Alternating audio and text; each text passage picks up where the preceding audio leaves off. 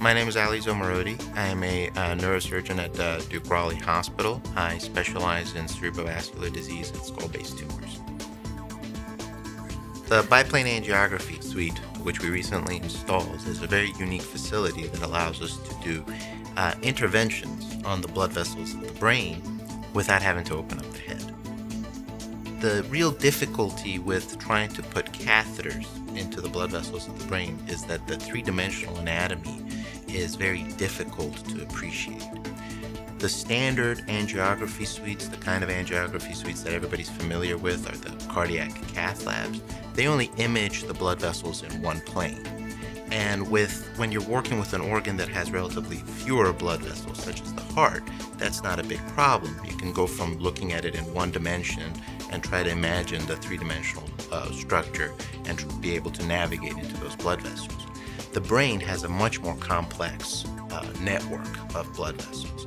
And so when you're trying to look at them in just one dimension, you can miss um, some of the nuances, some of the details, and it makes it very difficult and also less safe to do an intervention to try to uh, get a catheter into one of these blood vessels. There's not a lot of uh, facilities uh, in the state that offer this uh, biplane uh, um, technology for us to be able to do these interventions. Uh, Duke Raleigh has the first one in Wake County that's dedicated to the treatment of pathology inside the brain. What this means for the patient is that we now have the capability to treat very complicated diseases of the blood vessels of the brain without having to do open brain surgery. And that's very significant. The typical operation that we do on, on, on say, brain aneurysm uh, requires about eight hours of craniotomy. That's eight hours of us working with the patient under anesthesia. The scalp has to be opened, the bone of the skull has to be removed, and we use a microscope to do the very delicate dissections. And it's very meticulous, it's very time consuming, and it also takes a lot out of the patient. And it takes a whole month for them to recover from an open brain operation like that. That's if everything goes smoothly. With one of these uh, catheter based uh, treatments, we can treat the same pathology and the patient can go home the next day.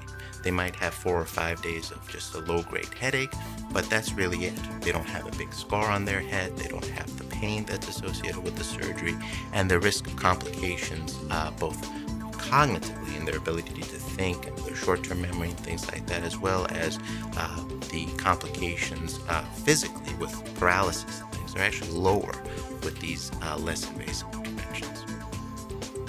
Our ability to treat complex cerebrovascular lesions and skull base uh, tumors depends very critically on our ability to be able to visualize and intervene on these difficult uh, uh, blood vessels uh, of the brain. So I think this was sort of the last area that, that we had uh, any difficulty uh, with our with our capabilities. And now that we have this suite, we have the ability to treat both acute ruptured and, and elective brain aneurysms. We can do embolizations of complex uh, uh, brain tumors uh, here, um, and we can treat vascular malformations in the brain. These are things that we were not able to do very effectively